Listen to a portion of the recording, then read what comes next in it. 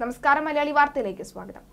ഇസ്രയേലിനെ ഹമാസ് ആക്രമിക്കുന്നതിന് മുന്നോടിയായി പലസ്തീനിലെ ഇസ്ലാമിക് ജിഹാദിനും ഹമാസിനും വേണ്ടി ഏകദേശം അഞ്ഞൂറോളം പേരെ Iran പരിശീലിപ്പിച്ചുവെന്ന് the Wall Street Journal report പറയുന്നു. പലസ്തീൻ ഭീകര സംഘടനയായ ഹമാസ ഇറാൻ പിന്തുണ നൽകിയെന്നതിന് ഏറ്റവും വലിയ തെളിവാണ് ഇത്. ഹമാസ് ഭീകരർക്ക് കഴിഞ്ഞ മാസം ഇറാനിൽ വെച്ച പ്രത്യേക പരിശീലനം ലഭിച്ചുവെന്നാണ് റിപ്പോർട്ട്. ഇന്റലിജൻസിൽ നിന്നും ലഭിച്ച വിവരങ്ങളുടെ അടിസ്ഥാനത്തിലായിരുന്നു റിപ്പോർട്ട്.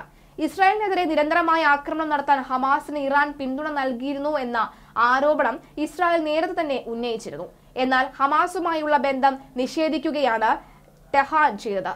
കര വായു സമുദ്രമാർഗങ്ങളിലൂടെ ഇസ്രായേലിനെ ആക്രമിക്കാൻ ഹമാസ് ഭീകരർക്ക് പ്രത്യേക പരിശീലനം നൽകിയത് ഇറാന്റെ സൈനിക വിഭാഗമായ ഇസ്ലാമിക് റവല്യൂഷണറി ഗാർഡ് കോപ്സ് ആണ് എന്നാണ് കണ്ടെത്തൽ. ഓഗസ്റ്റ് മുതൽ പരിശീലനം നടന്നിരുന്നു. അതേസമയം ഹമാസിനെതിരെ കരയുദ്ധം ആരംഭിച്ചിരിക്കുകയാണ് ഇസ്രായേൽ. വടക്കൻ ഗാസയിൽ സൈനിക ടാങ്കുകൾ പ്രവേശിക്കുന്നതിന്റെ ദൃശ്യങ്ങൾ ഇസ്രായേൽ പ്രതിരോധ സേന പുറത്തുവിട്ടു. സൈന്യം വടക്കൻ ഗാസയിൽ പ്രവേശിച്ചതായും ഭീകരരുടെ ബങ്കറുകൾ മിസൈൽ ലോഞ്ച് പോസ്റ്ററുകളും തകർത്തതായും ഐ ഡി എഫ് അറിയിച്ചു. ബോംബാക്രമണം ശക്തമാകുമെന്ന് ഇസ്രായേൽ പ്രഖ്യാപിച്ചിട്ടുമുണ്ട്. കരയുദ്ധത്തിൽ വെല്ലുവിളിയാകാനിടയുള്ള സ്ഥലങ്ങളെല്ലാം ബോംബിട്ട് തകർക്കാനാണ് തീരുമാനം. കരയാക്രമണം മൂന്ന് ഘട്ടമായിട്ടായിരിക്കും ഇരിക്കുന്നത്. ഘട്ടം ഒന്നിൽ നിലവിൽ നടക്കുന്ന ശക്തമായ വ്യോമാക്രമണം ഹമാസിന്റെ അടിസ്ഥാന സൗകര്യങ്ങൾ നശിപ്പിക്കുന്നതിനും പോരാളികളെ നിർവീര്യമാക്കുന്നതിനുമാണ് പ്രാഥമികമായും ലക്ഷ്യമിടുന്നത്. രണ്ടാം ഘട്ടത്തിൽ ഗാസയിൽ ശേഷിക്കുന്ന തടസ്സങ്ങൾ ഇല്ലാതെയാക്കും. രണ്ടാം ഘട്ടം ഇതിനോടകം തന്നെ തുടങ്ങിക്കഴിഞ്ഞു എന്നാണ് റിപ്പോർട്ടുകൾ. ഘട്ടം മൂന്നിൽ ഗാസയ്ക്ക് ചുറ്റും ഇസ്രായേൽ ബഹർ സോൺ സൃഷ്ടിക്കും. ആവശ്യ വസ്തുക്കൾക്കായി ഗാസ പൂർണമായും അന്താരാഷ്ട്ര സമൂഹത്തെ ആശ്രയിക്കേണ്ടി വരും.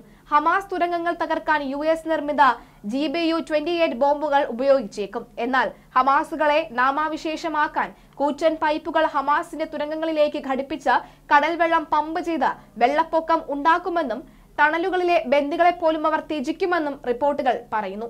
ഏറ്റവും ഒടുവിൽ നൽകിയ ടെലിവിഷൻ സന്ദേശത്തിലും കരയുദ്ധത്തിന് തയ്യാറെന്ന് നെതന്യാഹു ആവർത്തിക്കുകയാണ്. ഗാസയിൽ രണ്ടാം തവണയും കരസേനയുടെ സാന്നിധ്യം ഇതിനുള്ള മുന്നൊരുക്കങ്ങളാണ് എന്നാണ് സൂചന. ഹമാസ് ബന്ദികളാക്കിയ അമേരിക്കൻ പൗരന്മാരെ മോചിപ്പിക്കുന്നത് സംബന്ധിച്ച് യു എസ് പ്രസിഡന്റ് ജോ ബൈഡനുമായി നെതന്യാഹു ചർച്ച നടത്തി.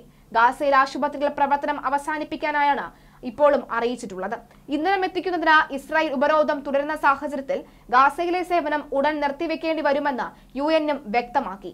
ഇരുപത്തിനാല് മണിക്കൂറിനിടെ ഗാസയിൽ മുന്നൂറ്റി നാൽപ്പത്തിനാല് കുട്ടികളടക്കം എഴുന്നൂറ്റി എൺപത്തിയാറ് പേർ കൊല്ലപ്പെട്ടതായാണ് ഹമാസ് വൃത്തങ്ങൾ വ്യക്തമാക്കുന്നത്. അൽ ജസീറയുടെ ഗാസയിലെ ബ്യൂറോ ചീഫിന്റെ ഭാര്യയും മകളും ആക്രമണങ്ങളിൽ കൊല്ലപ്പെട്ടു. ഗാസയെ സഹായമായി എത്തിയ യു എൻ സുരക്ഷാ സമിതിയുടെ ഇടപെടൽ ആവശ്യപ്പെട്ട് യു എസ് പ്രമേയം റഷ്യയും ചൈനയും വീറ്റോ ചെയ്തു. വെടിനിർത്തലിനെ കുറിച്ച് പ്രമേയത്തിൽ പരാമർശമില്ല എന്നാരോപിച്ച് ആയിരുന്നു നടപടി. ഇസ്രായേലും ഹമാസും ആക്രമണം താൽക്കാലികമായി അവസാനിപ്പിക്കണമെന്ന് യൂറോപ്യൻ യൂണിയൻ ആവശ്യപ്പെട്ടു. ഗാസയിലേക്ക് സഹായം എത്തിക്കാൻ വെടിനിർത്തൽ വേണമെന്നും പ്രമേയം പാസാക്കി. ഏഴ് മണിക്കൂർ നീണ്ട ചർച്ചകൾക്കൊടുവിലാണ് ഇരുപത്തിയേഴ് രാജ്യങ്ങൾ ഒപ്പിട്ട പ്രമേയം പാസാക്കിയത്. അതേസമയം സ്വയം പ്രതിരോധത്തിനുള്ള ഇസ്രായേലിന്റെ അവകാശത്തെയും യോഗം അംഗീകരിച്ചു.